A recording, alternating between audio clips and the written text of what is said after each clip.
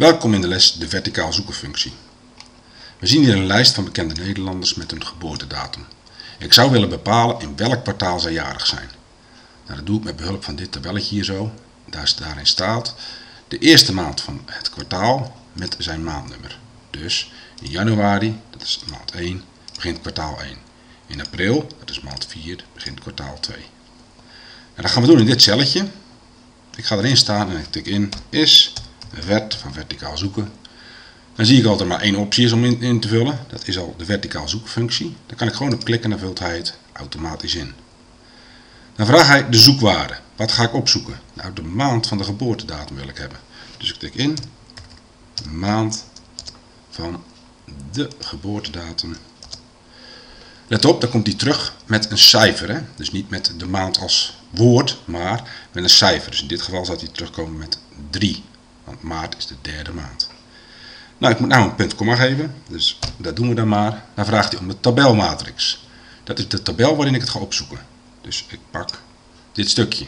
Nogmaals, ik wil het nummer hebben van de maand en niet de naam van de maand. Dan moet ik een punt komma intikken. Dan vraagt hij om het kolom indexgetal. Nou, dat is een beetje een onhandige uitdrukking om aan te geven.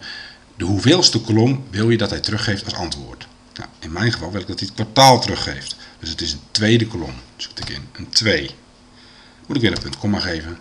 En dan vraagt hij een niet geheel exacte overeenkomst of een exacte overeenkomst. Nou, dat leg ik zo wel even uit, maar ik selecteer nu eventjes een niet geheel exacte overeenkomst. Dus dan, dat is het begrip waar. Dan moet ik haakje afsluiten om de functie te beëindigen. En ik druk op enter. Dan zie ik netjes dat hij met een 1 terugkomt. Stel dat ik hier geen ehm, waar, of waar, maar onwaar had ingevuld. Dus laten we dat maar eens even doen. Dan krijg ik een andere uitslag. Onwaar betekende dat hij met een exacte overeenkomst moest zoeken in mijn tabel. Hij heeft dus hier 3 gevonden. Hij gaat zoeken naar het getal 3, kan die niet vinden. En wat zegt hij dan? N schuine streep B. En er staat voor niet beschikbaar. Hij kan dus het getal 3 niet vinden. Daarom moest hij niet op zoek gaan naar een exacte overeenkomst, maar hij kon gaan zoeken van waar valt hij tussen. Nou, de 3 valt tussen de 1 en de 4, dus is het 1. Komt hij netjes terug met 1. Dan kan ik deze formule naar beneden kopiëren, maar dan zien we eigenlijk dat het gelijk fout gaat. Nou, waarom? Dan kan je even gaan kijken. C11, dat zoekt hij mooi op van de maand. Maar mijn tabel is ook naar beneden verschoven. Dat klopt, want het was een relatieve verwijzing. Ik had die natuurlijk eerst netjes absoluut moeten maken. Dus laten we dat maar even doen. De tabel moest een absolute verwijzing zijn. Dus ik selecteer de tabel, ik druk op F4, dan zet hij daar weer allemaal van die dollartekentjes voor en ik druk op Enter.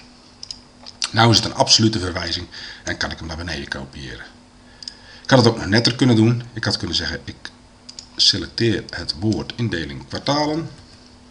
Ik selecteer de tabel. Ik noem die tabel indeling kwartalen. Moet ik die spatie weghalen, maar dat moet in een naamgeving.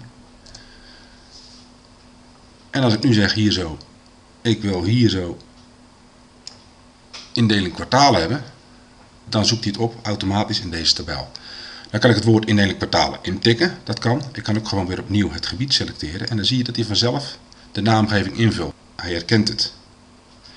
Ik druk op enter en je ziet hem uitslag hetzelfde blijven en ik kan hem weer netjes naar beneden slepen.